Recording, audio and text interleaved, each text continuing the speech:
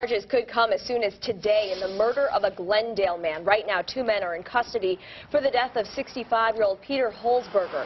He was found dead yesterday. Uh, he was found dead this week in his home near Port Washington and Bender. Officers went looking for him after a friend reported him missing. We could learn more about the motive when formal charges are filed.